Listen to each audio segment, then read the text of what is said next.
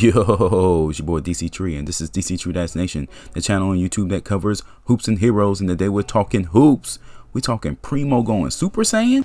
Damn! Yo, that man has been putting in some work in the gym for sure, man. For sure, bruh. He looking too swole. Now, I honestly think the weight gain just proves my point more and more that he should be a two guard, man. Let him flex some muscles, man. He more swollen than Goku was that time.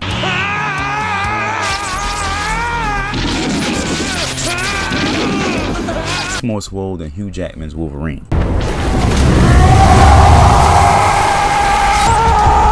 Listen, I could tell by this one photo, he has definitely upgraded his power, man. He got a bigger upgrade than Carlton did that time. You can feel it. I can feel the power. But all jokes aside, man, if we're being honest, it's probably the angle of the camera and kind of like the shadow on the back of his arm that's making look looking making him look so swole.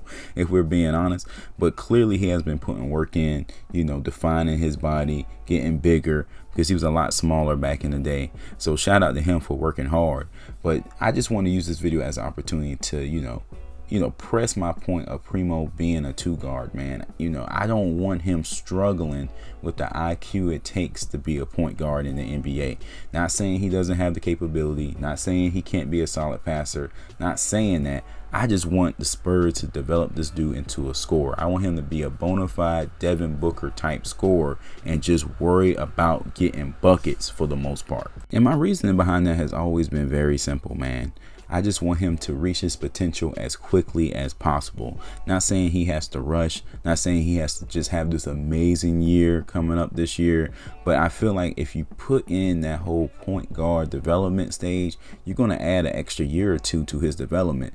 If you put him at the two guard, groom him as a scorer, groom him as a defender, groom him, you know, as a guy that can pass out of the double team, but make him focus on his three point shot, on his mid range, on battling through screens. Looks like his physique is growing, so he can battle through screens. He can run the Steph Curry, he can run the Rip Hamilton for back in the day, and just run, run, run, run, run through screens, get open, hit the open basket. I think that's his game, and I think that's what's going to make him into a star.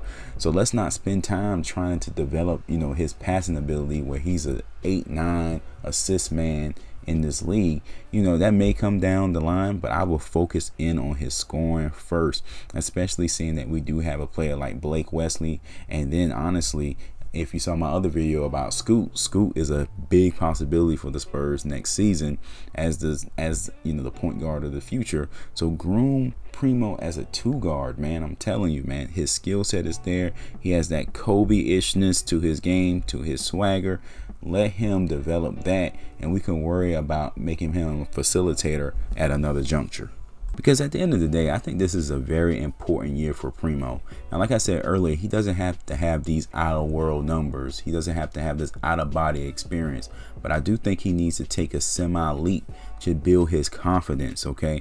You know, this season is going to be a weird season. There's going to be a whole lot of losing. You know, we're in the semi tank mode. So you don't want Primo to lose his confidence trying to run the point guard, you know, being the main point guard for a losing team like that. You know, he could still play the point guard here and there, but I'd rather groom him as a two guard, man. Let him work on his his game and on the offensive end. You know, this is a year for experimentation. This is the year to see what you have. This is a year for growth.